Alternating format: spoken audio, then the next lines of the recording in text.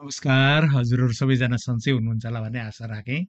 र म आफै त सन्चै छु आज चाहिँ है तपाईँहरूको आशीर्वादले गर्दा तपाईँहरूको गुड विशेषले गर्दाखेरि है। हिजो चाहिँ मलाई साह्रो मन दुखेको थियो जो जसले पनि भिडियो हेर्नुभयो तपाईँहरूले चाल पाइहाल्नुभयो है। आज चाहिँ मैले काम पनि गरेँ आज अलिक मन ठिक पनि छ र मेरो लेख्दै गर्नुपर्ने जुन च्याप्टर थियो फोर्थ च्याप्टर त्यो फोर्थ च्याप्टर आज सक्यो। जम्मा forty two forty three pages लामो भयो त्यो च्याप्टर र यो चाहिँ मैले विशेष गरी एक दुईजना मेरो साथीहरू छन् उहाँहरूले चाहिँ कति लेख्नुभयो कति पुर्याउनु हो भनेर सोधिरहनुहुन्छ र उहाँहरूको लागि यो अपडेट यसै भिडियो मार्फत म दिँदैछु। आज चाहिँ किन आयो भन्ने भइरहेको होला तपाईँहरूलाई र आज चाहिँ विशेष गरी एउटा इमर्जेन्सी जस्तो फिल भएर आएको म र किन त्यस्तो भयो भन्ने कुरा चाहिँ सोचिरहनु भएको होला तपाईँहरूले। मलाई हिजो एउटा हिजो अस्तिको दिन होला एउटा म्यासेज आएको थियो मेसेन्जरमा र त्यो त्यो म्यासेज चाहिँ मा के लेखिएको थियो भन्दाखेरि चाहिँ स्कुल प्रबन्धन समिति माथि एउटा प्रश्न भनेर लेखिएको थियो र त्यहाँ के लेखिएको थियो भन्दाखेरि चाहिँ यदि इमर्जेन्सी परेको खण्डमा चाहिँ स्कुल म्यानेजमेन्ट कमिटीको अध्यक्षले अथवा चेयरम्यानले स्कुल हेडसँग सल्लाह नगरिकन स्कुल एस एसएमसीको मिटिङ कल गर्नु सक्छ कि सक्दैन भनेर सोधिदिएको थियो अनि अर्को चाहिँ यो स्कुल म्यानेजमेन्ट कमिटीको मिटिङ कल गर्दा चाहिँ के अरे पत्राचार गर्ने जिम्मा चाहिँ कसको भनेर पनि सोधिदिएको थियो। र मलाई एक प्रकारले त्यो प्रश्न पढ्दा पढ्दै नै त्रिङ्गै भयो। तपाईँहरूलाई पनि भयो होला है जो जो जो जो जो चाहिँ स्कुलमा काम गर्नुहुन्छ अथवा जो जो पनि स्कुल म्यानेजमेन्ट कमिटी हुनुहुन्छ तपाईँहरूलाई त्रिङ्गै भयो होला है यो कुराले। अलिकति त्यस्तो हुन्छ कि हुँदैन। र मलाई अलिकति लाग्यो र मैले अलिक छिटो छिटो गरेर उहाँको मैले एन्सर त दिइहालेँ। रै भए पनि यस्तो खालको समस्या अरू ठाउँ पनि परिरहेको हुनसक्छ। किन किन हुन हुँदैन र हुन्छ नि है। किन सात सात सौवटा स्कुल भएको ठाउँमा त्यस्तो अवश्य पनि हुन्छ। र यो कुरा त मैले भनिराख्नुपर्छ भन्ने सोचेर नै म आज यो भिडियो बनाउँदै गरेको र तपाईँहरूको समक्षमा आएको र वास्तवमा यो लिगलाइजेसन अफ एजुकेसन भन्ने कुरा धेरै अघिदेखि सुरु भएको हो। तर पछाडि आएर दुई हजार दुई सालमा संविधानको छ्यासौँ अथवा एट्टी सिक्स कन्स्टिट्युसनल एमेन्डमेन्ट एक्टद्वारा चाहिँ एउटा आर्टिकल एउटा धारा ट्वेन्टी वान ए भन्ने अन्तर्भुक्त गरेर त्यहाँभित्र चाहिँ फ्री एन्ड कम्पलसरी एजुकेसन भनेर लगाइएको छ। त्यो चाहिँ छदेखि चौध वर्षसम्मको नानीहरूको निम्ति फ्री र कम्पलसरी हुनुपर्छ एजुकेसन भन्ने त्यहाँ भनिएको छ। तर त्यसलाई अब कानुन तयारी गर्नुपर्ने कुरा आउँदाखेरि चाहिँ यो कानुन चाहिँ दुई हजार नौ सालमा the right of children to free and compulsory education act two thousand nine भनेर अगस्त टु थाउजन्ड नाइनमा यो पास गरियो।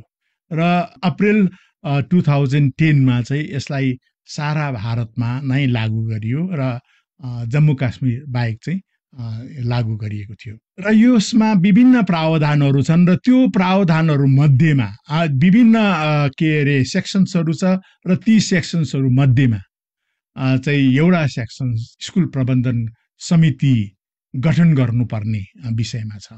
त्यो चाहिँ सेक्सन ट्वेन्टी वान र सेक्सन ट्वेन्टी वानले भन्छ कि स्कुल म्यानेजमेन्ट कमिटी प्रत्येक स्कुलमा गठन गरिनु पर्दछ र त्यो स्कुल म्यानेजमेन्ट कमिटीमा पचहत्तर प्रतिशत मेम्बर्सहरू प्यारेन्टहरू हुनुपर्छ अथवा गार्जेनहरू हुनुपर्छ जसको नानी त्यो स्कुलमा पढ्छ उसै उस त्यही मान्छे चाहिँ त्यहाँ सेभेन्टी फाइभ पर्सेन्ट मेम्बर चाहिँ उनीहरू हुनुपर्छ।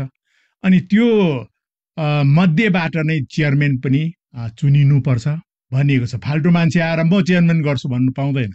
त्यस्तो कुरा हो। र अर्को जसको नानी त्यहाँ छैन उसलाई चेयरम्यान राख्नु पाइँदैन त्यस्तो कुरा। र त्यो कानुनमा लेखिएको छ। र यो एउटा एस स्कुल म्यानेजमेन्ट कमिटी भनेको चाहिँ संवैधानिक बडी हो। साधारण कुरा होइन है त्यस्तो कुरा हो। अनि यसमा रहेको जुन ट्वेन्टी फाइभ पर्सेन्ट कहाँ गयो त भन्ने भइरहेको हुन्छ भइरहेको होला तपाईँहरूलाई। त्यो ट्वेन्टी फाइभ पर्सेन्ट मध्येमा चाहिँ को हुन्छ को रहन्छ भन्दाखेरि चाहिँ लोकल अथोरिटी त्यहाँ आइला आइहाल आउँछ ट्वेन्टी फाइभ पर्सेन्टमा। त्यहाँदेखि गाउँमा कोही पनि एजुकेसनिस्ट अथवा कोही पनि एकाउन्टसँग रिलेटेड अलिक जान्ने मान्छेहरू गण्य मान्य मान्य व्यक्तिहरू छन् भने त्यहाँभित्र आउँछ। त्यहाँदेखि त्यहाँनिर टिचर मेम्बरहरू त्यहाँभित्र पर्छन्। तर हेडमास्टर कहाँको त भन्ने लागिरहेको होला। हेडमास्टर चाहिँ त्यो स्कुल म्यानेजमेन्ट कमिटी बनिने बित्तिकै त्यहाँको हेडमास्टर चाहिँ एक्स अफिसियो कन्भेनर भइहाल्छ। उसको सिधा सिधै नै त्यो पोस्ट पाइहाल्छ। र हेडमास्टर छैन र इन्चार्ज छ भने पनि उसको त्यो बनिने बित्तिकै उसलाई लाइ बस्नै पर्दैन। ऊ आफै स्वतः पसिहाल्छ। है त्यो एक्स अफिसियो कन्भेनर भनेर। त्यस्तो र त्यसले गर्दाखेरि चाहिँ त्यो एक्स अफिसियो कन्भेनरलाई चाहिँ हेड अफ द इन्स्टिट्युसन पनि भनिन्छ अनि एक्स अफिसियो कन्भेनर पनि भनिन्छ यता एसएमसीपट्टिबाट चाहिँ। त्यस्तो हुन्छ। र अब तपाईँहरूलाई जस्तो प्रकारले अब यहाँ भने नि मैले सेभेन्टी फाइभ पर्सेन्ट भनेको मतलब सेभेन्टी फाइभ पर्सेन्ट भनेको सोह्रजनाको समिति बनायो भनेदेखि चाहिँ बाह्रजना चाहिँ कसै गरी पनि को हुनु पर्यो बाउआमाबाटै हुनु पर्यो बाउआमा अथवा गार्जेनबाट हुनु पर्यो र अरू रहेको चारजना मात्रै फाल्टो हुनु पर्यो त्यस्तो प्रकारले गठन गरिनु पर्दछ। र यदि त्यसरी गठन गरिएन र यदि सेभेन्टी फाइभ पर्सेन्ट चाहिँ प्यारेन्ट लगाइएन भनेदेखि चाहिँ के हुन्छ भनेदेखि कसैले पनि यो स्कुलमा चाहिँ सेभेन्टी फाइभ प्यारे पर्सेन्ट प्यारेन्ट छैन है भनेर चाहिँ नालिस गऱ्यो भने नि नालिस गर्नु हुन्छ नि पिआइएल गऱ्यो भनेदेखि चाहिँ कानुन लाग्छ। त्यो एउटा कुरा याद गर्नु पर्यो र त्यो कानुन चाहिँ त्यहाँ लाग्ने चाहिँ लो लोकल अथोरिटीलाई पनि लाग्छ हेड अफ द स्कुललाई पनि लाग्छ। त्यस्तो हुन्छ कि। पञ्चायतले किन याद गरेन भन्ने हुन्छ। किनभने पञ्चायत पनि स्वतः त्यहाँ मेम्बर हुने हो। जस्तो हेड अफ द इन्स्टिट्युसन जस्तै हो। त्यस्तो भएकोले गर्दाखेरि उहाँहरूलाई लाग्छ। अर्को कुरा त्यो सोह्रजनाको जुन समिति बनायो भने बाह्रजना बाबुआमाबाटै भनेर भनिएको छ त्यो सोह्रजनामा चाहिँ आठजना चाहिँ आमा पार्टी नै हुनु पर्यो चेली नै हुनुपर्छ आठजना चाहिँ कसै गरी चेली हुनु पर्यो। नौजना दसजना बाह्रजना तेह्रजना जम्मै सोह्रजना नै चेली नै चेली भयो भने केही फरक पर्दैन। तर आठजना भन्दा कम्ती चाहिँ चेली हुनु भएन अथवा आमा पार्टी हुनु भएन त्यसमा चाहिँ। भन्नु मतलब फिफ्टी पर्सेन्ट छोरी अथवा आमा नै हुनुपर्छ। त्यो स्टुडेन्टको दिदी स्टुडेन्टको आमा कोही नै अथवा स्टुडेन्टको गार्जेनपट्टिको लेडी को हुन्छ लेडी गार्जेन ऊ हुनु पर्यो त्यस्तो प्रकारले गठन गरिनुपर्छ र यदि त्यस्तो बनाइएको छैन र कसैले पनि कोर्टमा गएर चाहिँ भन्यो भनेदेखि चाहिँ त्यो केस लाग्छ। त्यो याद गर्नु पर्यो र अर्को कुरा चाहिँ के पनि हो भन्दाखेरि चाहिँ स्कुल म्यानेजमेन्ट कमिटी भन्ने कमिटी हो। कमिटी भनेको ग्रुप हो। र ग्रुप भन्ने बित्तिकै एकजनाले कुनै यस्तो पर्यो भन्दैमा एकजनाले आफै मिटिङ कल गर्ने कुरा आउँदैन। समिति भनिसकेपछि कमसे कम पनि एक्स अफिसियो कन्भेनर र अध्यक्षको बिचमा सल्लाह गरेर गर्दा हुन्छ। होइन? इमर्जेन्सी परे खण्डमा बरु एक्स अफिसियो कन्भेनरले चाहिँ कल गर्नु सक्छ अध्यक्षले सक्दैन। किन सक्दैन भन्दाखेरि चाहिँ एक्स अफिसियो कन्भेनर चाहिँ स्कुलको उत्तरदायित्व एक्स अफिसियो कन्भेनरलाई दिएको हुन्छ। स्कुलमा केही पनि भएको खण्डमा एक्स अफिसियो कन्भेनर जिम्मेवारी हुन्छ। त्यसले गर्दाखेरि एक नम्बर जिम्मेवारी त कसको पर्यो? एक्स अफिसियो कन्भेनरको पर्यो। त्यसले गर्दा उहाँले चाहिँ कल गर्नु सक्छ।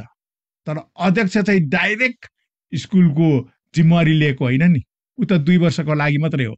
ए एउटा कुरा भनिराख्छु अर्को चाहिँ यो स्कुल म्यानेजमेन्ट कमिटी फेरि वर्षौँ बसिरहनु पाएन नि। दुई वर्षमा यसको रिसफल हुनुपर्छ। र रिसफल हुँदाखेरि पनि त्यही मान्छेलाई अध्यक्ष राख्नुपर्छ भनेर जमैले हात उठायो भने त्यो मान्छे बस्न पाउँछ फेरि। त्यस्तो होइन। बस्दै नपाउने होइन। पाउँछ। जुन मेम्बर राम्रो छ उसलाई फेरि पनि चुनेर राख्न पाइन्छ। तर चुन्नु चाहिँ दुई वर्षमा एक एकपल्ट चुन्नै पर्ने हुन्छ। त्यो चाहिँ त्यो पनि हो। र त्यसरी चुनाव भएको छैन भने पनि कसैले कोर्टमा जान सक्छ यस विषयमा चाहिँ। त्यो पनि तपाईँहरूले याद गरिदिनु पर्यो। र अब यहाँ अघि अघि कुरा आउँदै थियो यो चिठी काट्ने कुरा। चिठी काट्ने चाहिँ जहिले तहिले एक्स अफिसियो कन्भेनरको काम हो। कुनै पनि मिटिङ कल गर्नु पर्दाखेरि चिठी काट्नु पर्यो भने उहाँले चिठी काट्नु पर्यो। हिसाब किताब उहाँले राख्नु पर्यो। बही खाताहरू जम्मै उहाँले राख्नु पर्यो। प्रस्ताव लेख्ने कामहरू उहाँले नै जिम्मा लिनु पर्यो र कसैलाई कुनै टिचरलाई बोलाएर अथवा उसको टिचर मेम्बर जुन छ त्यो समितिमा उसलाई लेख्नु लाउनु पर्यो। तर त्यो लेख्नु लाउने काम एक्स अफिसियो कन्भेनरकै हो। र त्यो बही खाताहरू प्रत्येक रेकर्डहरू मेन्टेन गरेर राख्नुपर्ने। चाहिँ कसको हो भन्दाखेरि एक्स अफिसियो कन्भेनरको भन्नु मतलब एक्स अफिसियो कन्भेनरको ठुलो जिम्मेवारी छ त्योभित्र स्कुल म्यानेजमेन्ट कमिटीभित्र। र अर्को कुरा चाहिँ के पनि छ भन्दाखेरि चाहिँ यो स्कुल म्यानेजमेन्ट कमिटी चाहिँ एउटा पुल हो। स्कुल र बाउ आमाको बिचको पुल। स्कुल र प्यारेन्टहरू। किनभने अब त्यो स्कुल म्यानेजमेन्ट कमिटीमा जम्मै प्यारेन्ट त हार्दैन। र अरू प्यारेन्टहरू रहेको हुन्छ अरू गाउँलेहरू रहेको हुन्छ त्यो अरू गाउँलेहरूसँग अथवा गाउँमा भएको सेल्फ हेल्प ग्रुपहरू हुन्छ त्यस्तोसँगको एउटा ब्रिज तयारी गरिदिने त्यसको बिचमा सागुको काम गर्ने काम चाहिँ स्कुल म्यानेजमेन्ट कमिटीले गरिदिनु पर्यो। स्कुलमा चाहिएको कुराहरू के के चाहिन्छ त्यो सबै कुराहरू जो गर्ने कामहरू सबै कुरा चाहिँ स्कुल म्यानेजमेन्ट कमिटीले गरिदिनु पर्यो। यहाँ अब एउटा कुरा चाहिँ सोचिरहनु भएको होला कि स्कुल म्यानेजमेन्ट कमिटी सबै गर्छ भने टिचरको काम के हो भने टिचरको काम चाहिँ खालि पढाउनु हो। टिचरलाई फाल्टो काम लाउँदै लाउनु भयो वास्तवमा यो राइट टु एजुकेसन एक्टमा लेखेको छ। टिचरलाई फाल्टु काममा लाउनु पाउँदैन भनेर लेखेको छ। तर पनि अब सेन्ससतिर कता कतातिर लगाइहालेको हुन्छ है। तरै पनि अब कति ठाउँमा अहिले बिएलओहरू बनाएर चाहिँ के अरे इलेक्सन डिपार्टमेन्टहरूले चाहिँ टिचरलाई कम्तीलाई राखिएको छ अरू प्राय प्राय फाल्टै डिपार्टमेन्टको मान्छेहरूलाई राखिएको छ। र टिचरलाई त्यसरी काम गर्नु नलाउनु फाल्टो र उसलाई खालि सिर्फ पढाउनु लाउनु र उसले चाहिँ त्यो पढाइमा कस्तो काम गर्दैछ बरु त्यो चाहिँ बरु खोज्दा हुन्छ। हो? यता पनि काम गर्नु पर्ने स्कुल के अरे टोड्का परे चुयो भने पनि त्यही टिचर गर्नुपर्ने त्यस्तो हुँदैन। त्यो काम चाहिँ कसले गर्नु पऱ्यो? स्कुल म्यानेजमेन्टले गर्नु पऱ्यो नि त। नानीहरूलाई डेस्क बेन्च पुरा छ कि छैन? है नानीको स्कुलको छाना छुँदैछ कि? पहिरोले तान्दैछ कि? कसैले रोड लाँदाखेरि स्कुलको भित्ता भत्काउँदैछ कि? सिमाना मिच्दैछ कि? यी सबै कुराहरू चाहिँ स्कुल म्यानेजमेन्ट कमिटीले ले नै मिलाउनु पर्यो त्यहाँ पञ्चायत पनि हुन्छ र त्यो त्यसरी मिलाउनु पर्छ। र स्कुलमा जति पनि टिचरहरू हुनुहुन्छ उहाँहरूलाई चाहिँ एकदम फ्री र उनीहरूको काम सिर्फ पढाउनुमा स्कुलमा जति पनि कामहरू एक्टिभिटिजहरू नानीको डेभलपमेन्टको लागि गरिन्छ त्यो काम चाहिँ टिचरको जिम्मा हो। र स्कुल म्यानेजमेन्ट कमिटीले चाहेको खण्डमा त्यो टिचरहरूले कसरी पढाउँदैछ राम्रो पढाउँदैछ कि छैन छ कि त्यो खै गर्न चाहिँ पाउँछ। तर टिचरलाई नै यता पनि टिचरले गरोस् उता पनि टिचरले गरोस् त्यो काम पनि टिचरले गरोस् अनि पढाउनु पनि टिचरले गरोस् भनेर त्यो प्रकारले सोच्नु भएन। र त्यसको लागि नै यो विशेष प्रावधान यो जुन जुन स्कुल म्यानेजमेन्ट कमिटीको जुन कन्सेप्ट छ अवधारणा छ त्यसरी बनाइएको हो। र त्यसले गर्दाखेरि चाहिँ म तपाईँहरूलाई भन्छु मिलेर काम गर्नु समिति भन्ने बित्तिकै मिलेर काम गर्नु पऱ्यो अध्यक्ष म भयङ्कर हुँ भनेर भइहाल्नु भएन हेडमास्टर म भयङ्कर हुँ भनेर भन्नु भन्नु भएन एउटा टिम भएर काम गर्नु पर्यो। राम्रो अध्यक्ष छ भने उसले हेडमास्टरसँग यति राम्रो टिम बनाउँछ राम्रो हेडमास्टर छ भने उसले स्कुल म्यानेजमेन्ट कमिटीसँग यति राम्रो टिम बनाउँछ र स्कुललाई यस्तो जगजग बनाउँछ यति राम्रो बनाउँछ कि के अरे त अरू मान्छेहरू छक्कै पारिदिन्छ तर अब एउटा पनि उता पनि भयङ्कर हुने अर्को पनि भयङ्कर हुने छ भने चाहिँ हुँदैन। र सल्लाह यो चाहिँ समिति भएकोले गर्दाखेरि सल्लाह बेगर काम गर्ने कुरा होइन। अहिले त मोबाइल छ त हौ है फोन गर्दा भइगयो त यस्तो यस्तो पऱ्यो मिटिङ गरौँ भनेर भन्दा भइगयो त। इमर्जेन्सी के हुन्छ त्यस्तो? एक दुई मिनटमै पनि भइहाल्छ त अहिले त। उहिलेको समयमा त सायद हुँदैन थियो होला। र त्यसले गर्दाखेरि चाहिँ तपाईँहरूलाई यो कुरा भन्छु र स्कुल म्यानेजमेन्ट कमिटीको तर्फबाट गर्नुपर्ने कामहरू यस्ता यस्ताहरू हुन्छन् र के के कामहरू गर्नुपर्छ भन्ने चाहिँ फेरि सेक्सन ट्वेन्टी टूमा लेखेको छ। सेक्सन ट्वेन्टी वानमा चाहिँ स्कुल म्यानेजमेन्ट कमिटी बनाउनुपर्छ र कसरी बनाउनुपर्छ भन्ने कुरा अनि सेक्सन ट्वेन्टी टूमा चाहिँ स्कुल म्यानेजमेन्ट कमिटीले के के काम गर्नुपर्छ भन्ने कुरा त्यहाँ जनाइएको छ र रोल भूमिका के के निभाउनुपर्छ भन्ने जनाइएको छ है? अनि तपाईँहरूलाई स्कुल म्यानेजमेन्ट कमिटीलाई यस्तो पनि लाग्छ होला टिचरको काम चाहिँ के हो भनेर? र टिचरको काम चाहिँ तपाईँको सेक्सन ट्वेन्टी फोरमा लेखेको छ टिचरले के गर्नुपर्छ भन्ने? त्यो पनि पढ्नुहोस् तपाईँहरूले। एउटा किताब मैले उहिले लेखेको थिएँ।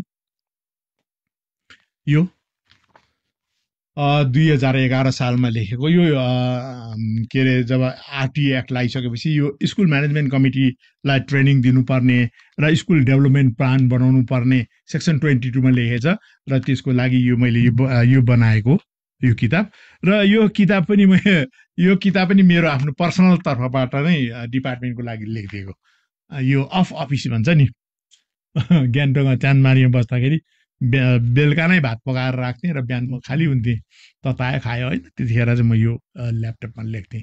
र त्यसो गरेर यो अफिसदेखि बाहिर मेरो ड्युटीदेखि बाहिर लेखेर डिपार्टमेन्टलाई दिएको र यो चाहिँ साँच्ची भन्दाखेरि नि यो यो जुन किताब थियो अब पहिला हामी ट्रेनिङ दिनु जाँदाखेरि ठाउँ ठाउँमा जानु पर्थ्यो र कोही कोही बेला साउथमा आउँदाखेरि साउथमै हामी बस बसेर ठाउँ ठाउँ बसेर ट्रेनिङ दिन्थ्यौँ। त्यतिखेर चाहिँ एक दुई पोका चाहिँ हाम्रो माथि हेड क्वार्टरको साथीहरूले तपाईँकोमा ल्याएर राख्नु त यो यहाँ चाहिँदाखेरि यतैबाट बोकेर लानुपर्छ भनेर ल्याएको थियो। दुई तिन बन्डल चाहिँ यिन लडिरहेको छ अहिले। हेर्नुहोस् त म नक्सा देखाउँदैछु। यो दुई तिन बन्डल छ यो दुई तिन बन्डलमा चाहिँ प्राय प्राय नेपालीको छ इङ्ग्लिसको चाहिँ प्राय सकिएको छ। यो चाहिँ इङ्ग्लिसको है? त्यस्तो छ र यसभित्र प्राय कसरी स्कुल डेभलपमेन्ट प्लान बनाउनु पर्छ हिसाब किताबहरू कसरी राख्नुपर्ने त्यो सबै कुराहरू छ र यहाँनिर आरटी एक्टले दिएको प्रावधानहरू पनि कतिवटा छ र एउटा कुरा एउटा दुईवटा कुरा चाहिँ गल्ती पनि छ। त्यो के गल्ती छ भन्दा प्रिन्टिङमा मिस्टेक भएको थियो। के गल्ती छ भन्दाखेरि चाहिँ प्राइमेरी क्लासमा चाहिँ एउटा टिचरको जिम जिम्मामा तिसजना भन्दा बेसी नानी हुनु हुँदैन तिसजना अनि तिसजनाभन्दा कम्ती नानी चाहिँ एउटा टिचरको जिम्मा हुन्छ प्राइमेरीमा। अनि अप्पर प्राइमेरी भन्छ सिक्स सेभेन एटमा चाहिँ पैँतिसजना नानीदेखि बेसी हुनु हुँदैन एकजनाको जिम्मामा। त्यो कुरा त हाम्रो सिक्किमको सन्दर्भमा कतिवटा कुरा लागु हुँदैन किनभने हाम्रो त एकजना टिचरको सातजना छजना नानीहरू पर्छ जिम्मा लाउनै हो भने है। जिउ जनङ्गी गऱ्यो त्यस्तो त्यसले गर्दाखेरि त हाम्रोमा चाहिँदैन। त्यस्ता कुराहरू छन् अरू कुरा पनि प्रावधानहरू छन् र तपाईँहरूले यदि चाहिन्छ भने मेरो घरमा आएर तपाईँहरूले लाँदा पनि भयो। यो लानु सक्नुहुन्छ अहिले। अहिले अब के अरे मेरो रहिरहेछ र डिपार्टमेन्टबाट कोही पनि आएर मागिहालेको छैन। त्यसले गर्दाखेरि तपाईँहरूले लानु सक्नुहुन्छ र यसको सदुपयोग गर्न सक्नुहुन्छ।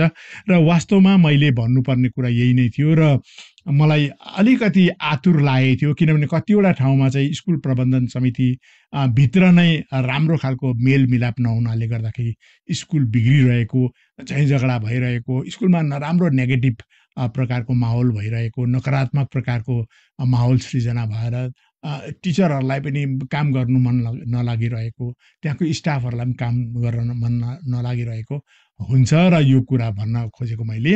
र तपाईँहरूले एउटा कुरा सधैँ याद गरिदिनुहोस् यो चाहिँ संवैधानिक बडी हो एउटा स्कुल म्यानेजमेन्ट कमिटी भनेको खेलाची होइन यसलाई तपाईँहरूले अलिकति सिरियसली लिनुहोस्।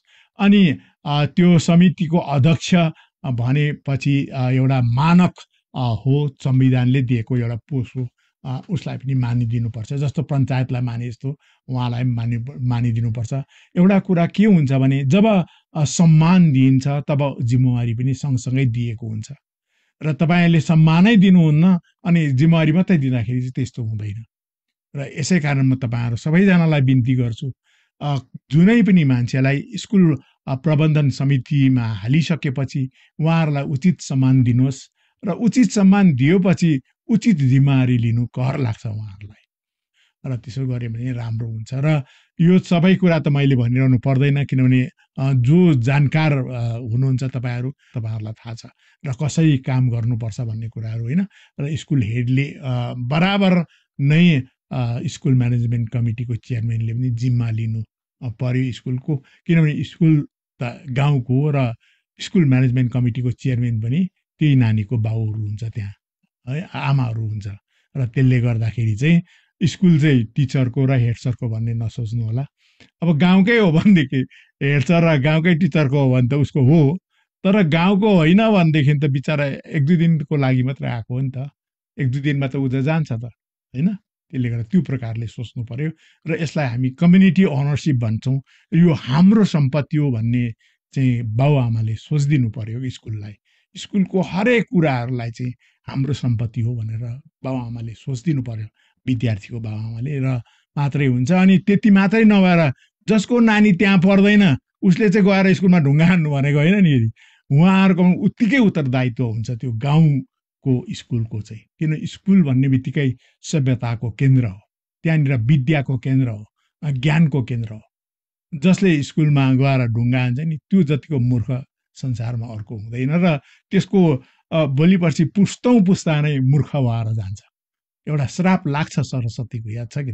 त्यो चाहिँ याद गरिदिनु पऱ्यो र धेर म कुरा भन्दिनँ र यही कुराले मलाई अलिकति इमर्जेन्सी फिल भएर आएर यो अहिले भिडियो बनाउँदैछु र तपाईँहरू सबैलाई आजको यो भिडियो हेरेर यो अलिकति फिजाइदिनुहोस् कि एउटा संवैधानिक बडी हो स्कुल प्रबन्धन समिति अथवा स्कुल म्यानेजमेन्ट कमिटी भन्ने कुरा चाहिँ। र यसको धेरै अहम भूमिका हुन्छ र यसको महत्त्व पनि संवैधानिक महत्त्व हुन्छ र कानुनले पक्रिनु सक्छ। यो कुरालाई चाहिँ तपाईँहरूले ख्याल गरिदिनुहोस् भन्ने कुराको बिन्ती चढाउँदै तपाईँहरूसँग म बिदा लिन चाहन्छु आजको लागि। यो भिडियो पनि यहीँ टुङ्ग्याउन चाहन्छु। धन्यवाद। हवस् त बाई बाई।